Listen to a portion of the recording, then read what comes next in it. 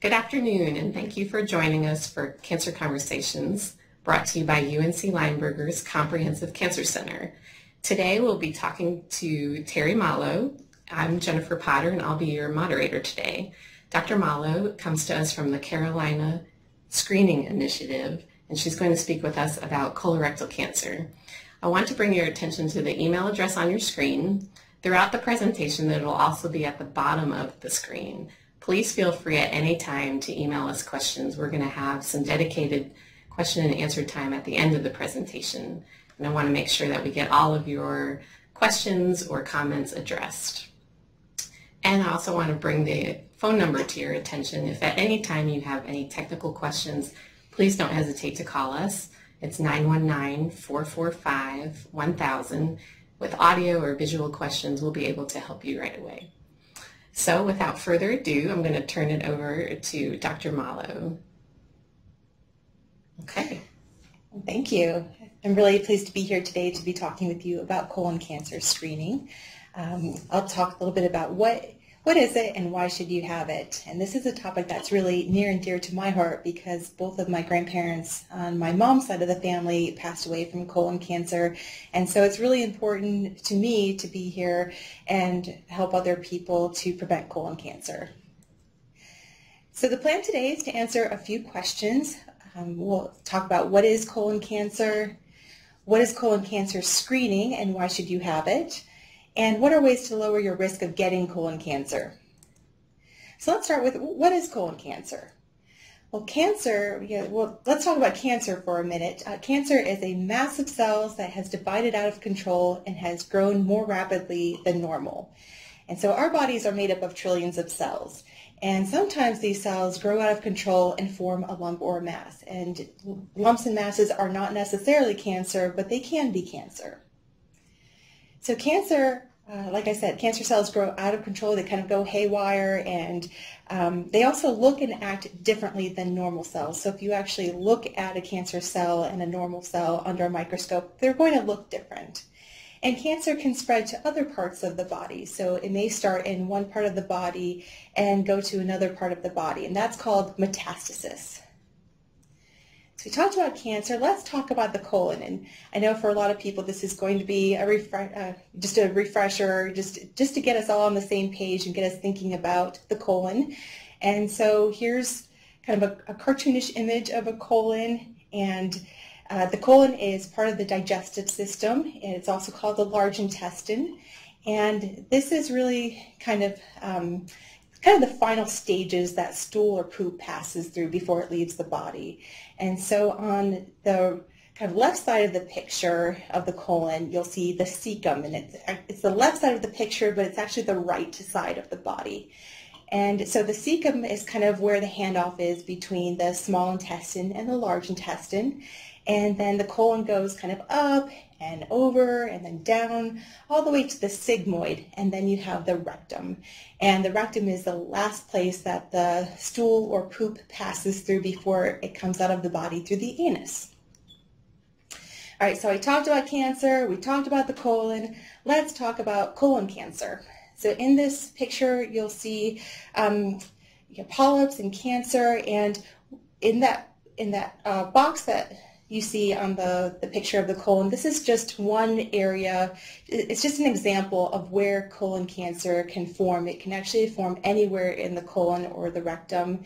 And so um, there can be polyps and there can be cancer. And polyps are these sort of abnormal tissue growths and they form on the lining of the colon and they can be kind of kind of flattish, maybe a little bit rounded. They can also be these sort of mushroom-like stalks and um, like I said, they can form anywhere on the lining of the, the colon or the rectum, and it's the, they're, they're not necessarily cancerous. Um, a lot of times actually polyps are not cancerous, but we don't really know until we get to look at them more closely and take a sample of them.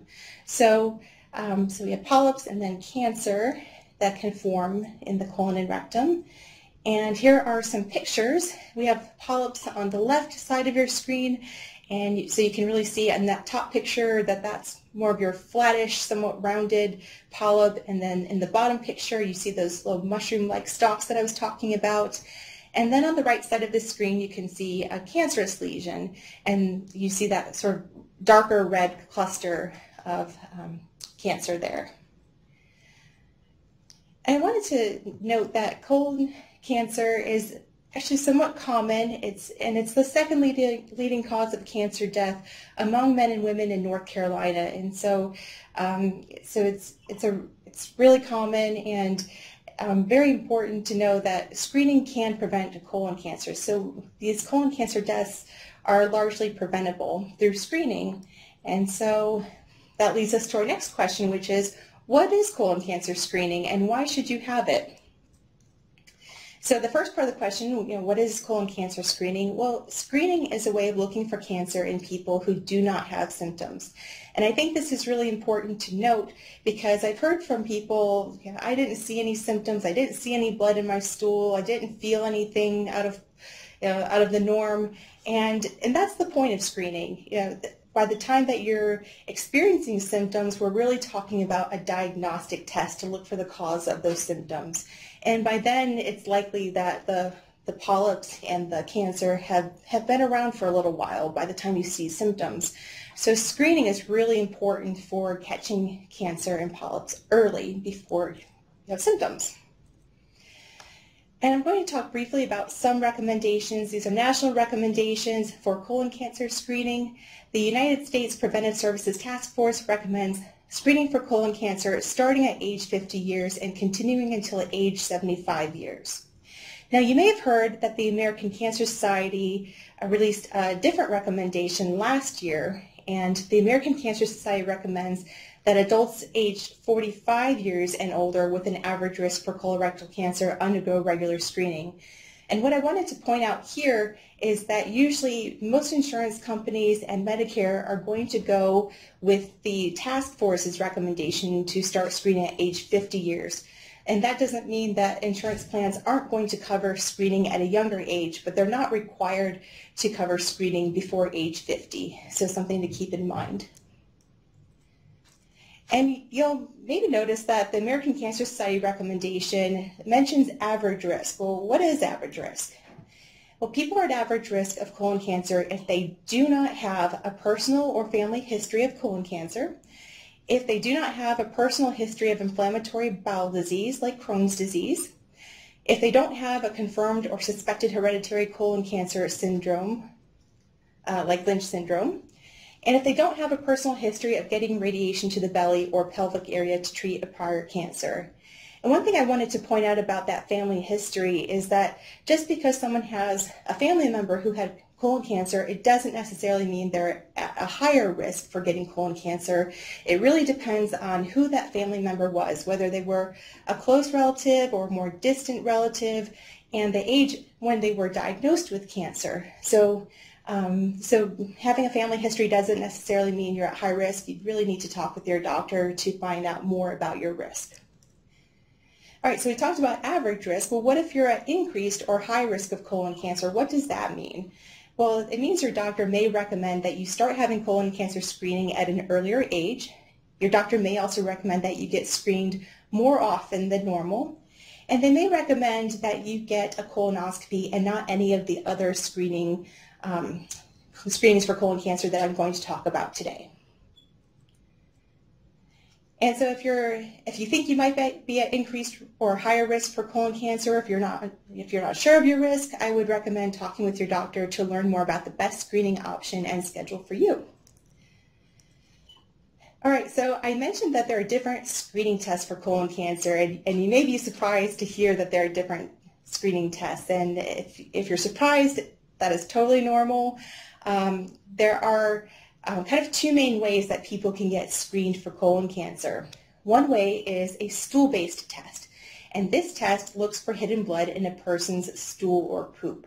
And what happens is if there are polyps or cancer in the colon or rectum, when stool passes by those uh, polyps or cancer, um, sometimes uh, since that tissue there is, is really fragile, the uh, they could release some blood into the stool. Not a lot. It's it's probably not going to be noticeable, and that's why we're talking about looking for hidden blood in a person's stool or poop. And by the way, I recently learned that some people refer to their toilet as the stool, and so that's why I have put poop in parentheses so that we we all know that I'm talking about poop here. Okay. And the other main way people can get screened for colon cancer is by a visual exam. And this test, this is where a doctor would use a scope or an x-ray to look at the colon and rectum for abnormal areas. All right, so I'm going to talk about six different colon cancer screening tests. And I wanted to note that not all of them may be available to you. Um, some of the tests are just not widely used, and some tests require special equipment and that equipment may not be available at facilities near you. So I just wanted to put that, put that out there before I start talking about the tests. So let's talk about the tests. We have uh, stool-based tests up first. I'm going to talk about the fecal immunochemical test or the FIT, and this test is done once a year. And this is a test where you take a sample of your stool or poop at home using a kit that your doctor gives you. And there are different fit tests. So the picture shows two, and on the left side of the picture, you'll see a one sample fit. And you can see there's a tube and there's a spatula in there. And essentially what happens is you take the spatula and you kind of scrape some of the poop and put it into the, the tube. And then on the right side of the picture, you'll see a fit card. And with this fit card, you take, you still take samples of your poop, but you take two samples and you smear them on, on a card and they come from the same bowel movement, the same poop. And so that's still, um, you know, another way that you can get tested with the fit. And once you collect your sample, you can send it directly to a lab for the lab to process it and, and see if there's any hidden blood. Um, I think you can all, you might also be able to bring it to your clinic and then your clinic can send it off for processing. You know, some people have said that they don't feel comfortable mailing poop in the mail, although although it's okay to do so, but but some people prefer to bring it to the clinic. Um, so like I said, this test is going to check for hidden blood in your stool or poop. And I wanted to say that hidden blood doesn't necessarily mean cancer. Sometimes people have have blood in their stool from a hemorrhoid or something else. And so um, it could be that or it could be cancer. So it, what happens is that people who have a positive test, a, a positive test meaning that there was hidden blood in the poop, then the person will need a follow-up colonoscopy to see if there are polyps or cancer in the in the um, in the colon or rectum, and I'll talk about a colonoscopy in just a bit. Um, the FIT test is often covered by insurance plans and by Medicare, and so I but I would double check with with uh, your health insurance before getting the test just to make sure. All right, so that's the FIT. I'm going to talk about the high sensitivity guaiac-based fecal occult blood test, or FOBT for short. Next, it is also done once a year, and this is kind of similar to the FIT, except you take a sample of your poop from three separate bowel movements. And so it's like that FIT card, but you do it three times at home using a kit that your doctor gives you. And what's different about this test from the fit other than having to take the three samples is that you need to avoid certain foods like red meat and medicines like Advil or Aleve for a few days before the test because sometimes that makes your test look like it has blood in, uh, makes your stool look like it has blood in it and then it'll come back positive when it was actually not because of polyps or cancer, it was because of something else. So your doctor will tell you how many days that you need to avoid certain medicines or foods ahead of time before you do this test. And again, if this test is positive, you'll need a colonoscopy to see if there are polyps or cancer. And this test is usually covered by insurance and by Medicare. But again, if you're not sure, double check. All right, the last one. That last stool-based test is the multi-target stool DNA test. Um, um, the only one on the market right now is Cologuard. You may have seen commercials on TV. There's a little talking box with arms and legs, and um, it comes comes to your home. and this is done every three years. And this is where you have a bowel movement in a container and you put a small sample of that stool into a separate tube. And so this is still looking for hidden blood in your stool, but it's also looking for abnormal DNA from polyps or cancer. Now, and if this test is positive, you'll also need a colonoscopy to see if there actually are polyps or cancer. And this test is covered by some insurances, but not all of them. And um, so I would double check with your insurance company before you have this test.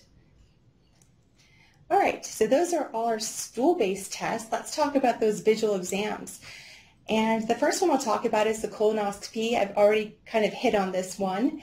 Um, this test is done every 10 years, and it's done more often than that, than that if, it, if it turns out that you have polyps, and it really depends on how many polyps and the size of the polyps. But um, if, if you have had polyps, um, or cancer, then your doctor may recommend that you get it done more often than every 10 years. And um, with this test, a doctor uses a tube with a tiny camera and a tiny light at the end of it to go into the body, through the anus, into the rectum, into the colon, um, to look for cancer or polyps. The doctor can also use a, a tool through that tube to um, remove the polyps and remove the cancer and get a closer look at them. So, um, so it is kind of an invasive procedure and it does require that somebody takes a prep ahead of time. That's usually a liquid laxative or it could be tablets. It could be a combination. Um, you'll get a prep kit and, and some instructions on how to complete it.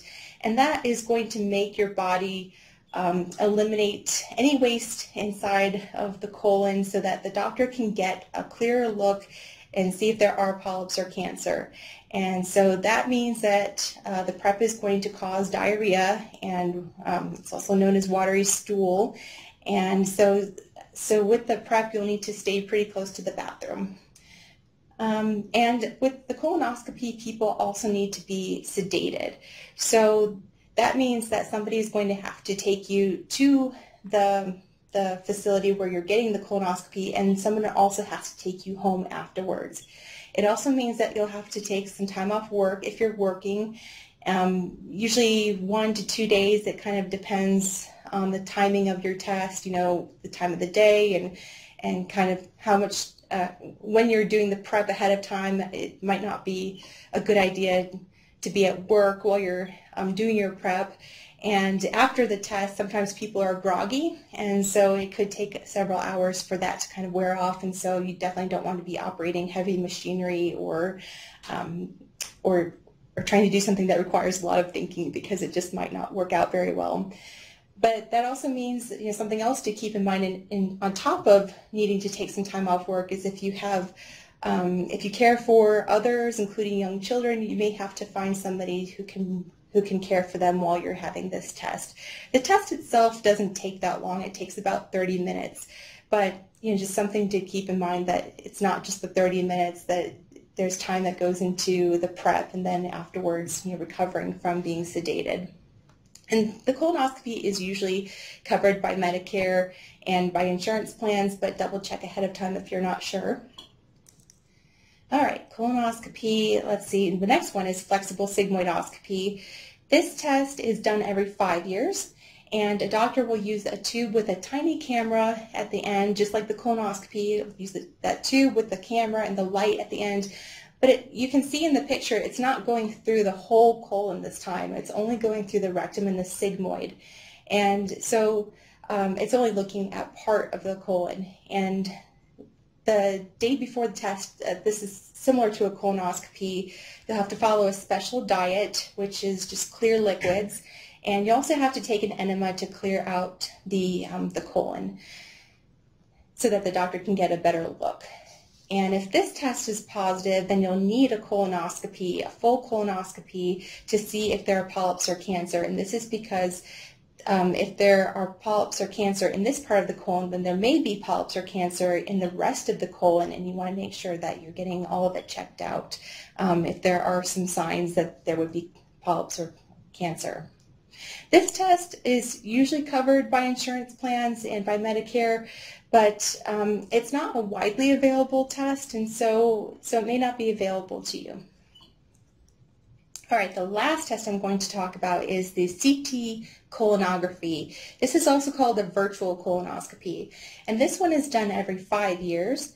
Um, a doctor uses an x-ray machine to look for polyps and cancer in your colon and rectum, and so you don't have to be sedated for this test. You can stay awake and um, but you'll still do a lot of the same things as the colonoscopy and the flexible sigmoidoscopy. You have to take a prep to empty out the colon. Again, this means you know diarrhea and needing to stay near a bathroom for a while to to um, uh, to take care of that.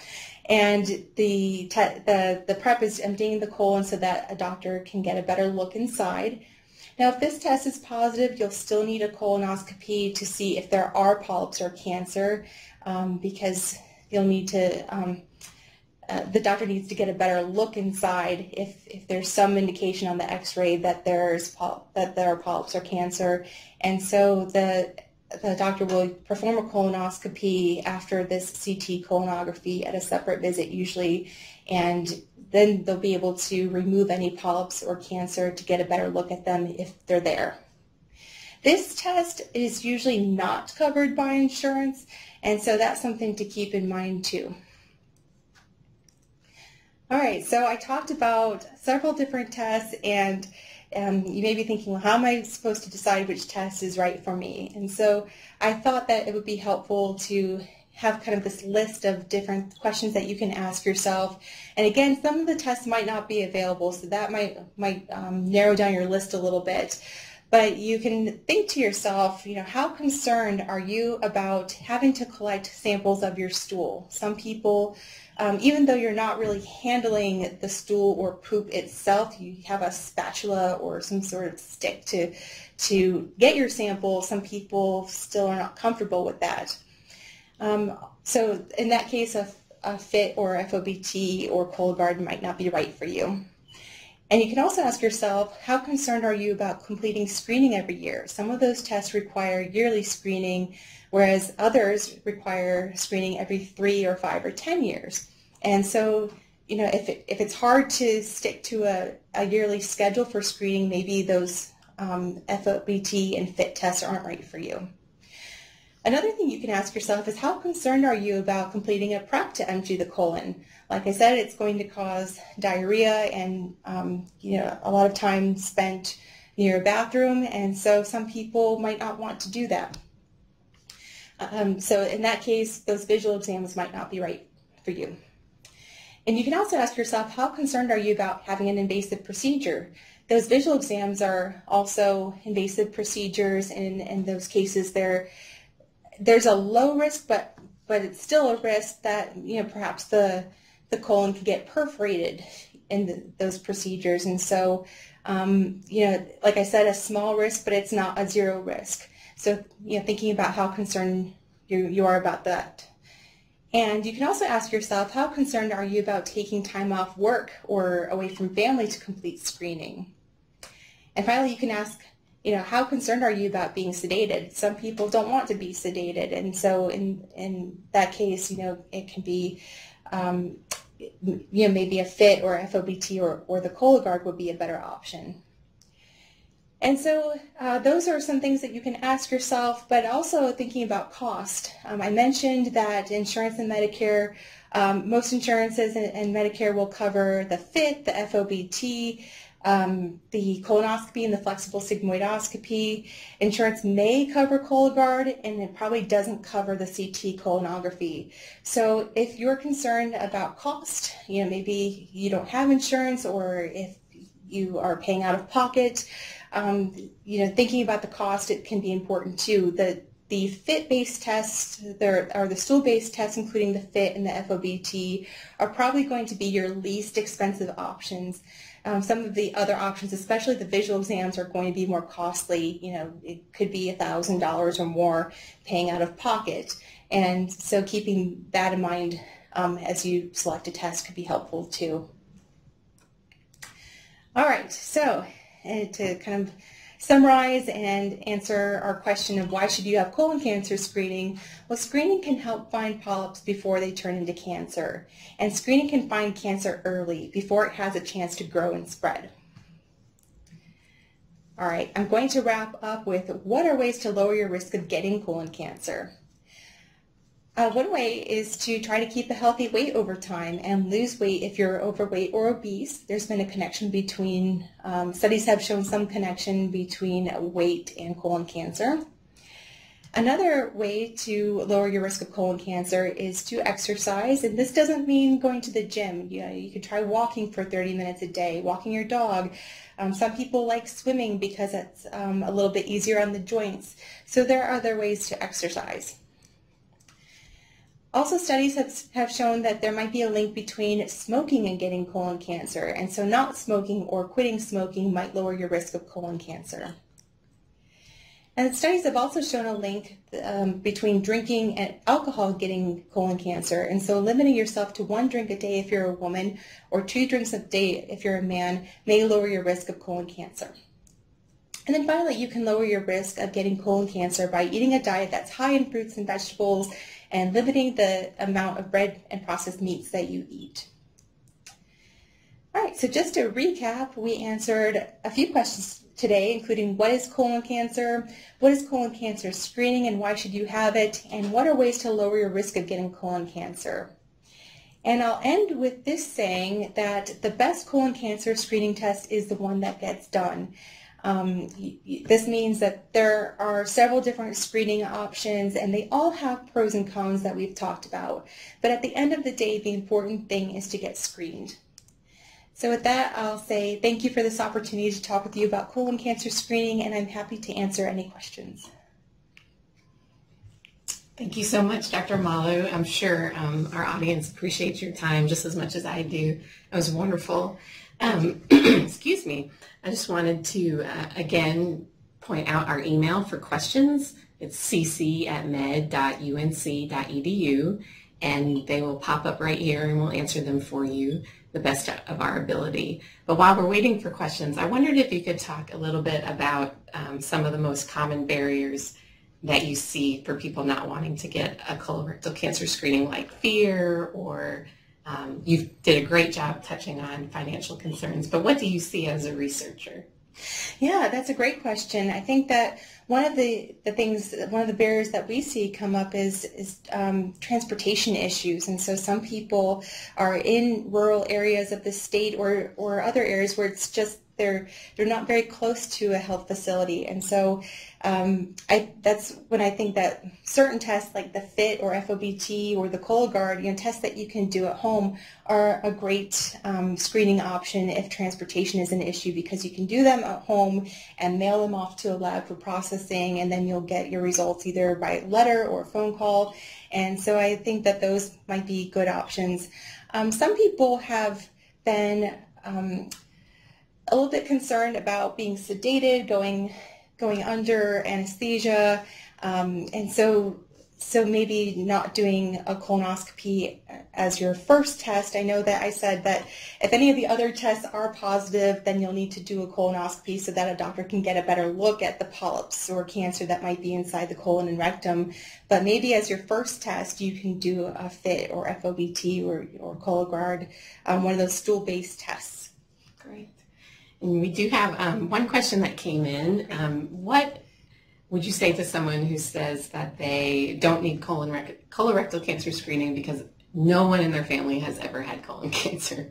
Yeah, that's, um, well, that's great that no one in the family has had colon cancer, but it doesn't mean that um, that that person won't get colon cancer. I think family history is just one piece of it, and that would that would maybe mean that that person would be at higher risk for colon cancer, but it doesn't mean um, that if you don't have a family history that you don't have a risk. Like I said, colon cancer is is pretty common. It's the second leading cause of cancer deaths in in men and women in North Carolina, and so I think just emphasizing that they don't um, need to have a family history to to be at risk. Yeah. That's wonderful. Thank you so much for your time today. I really appreciate it. And um, if you do have questions that pop into your head later today, feel free to still submit them and we'll do our best to answer them. Um, wanted to bring your attention to our Cancer Conversations next month. It'll be on Friday, April 26th at the same time, uh, 12 to 1 p.m. And we're going to have a um, talk about understanding clinical trials, what they are, um, what it looks like to be a participant in one, the safety measures that are in place, and we'll also have opportunity to answer any of your questions then. So um, thank you again for joining us today, and thank you so much, Dr. Malo. This was wonderful. Well, thank you for having me. You I did really a very great job. thank you. I appreciate it. Yes. Thank you.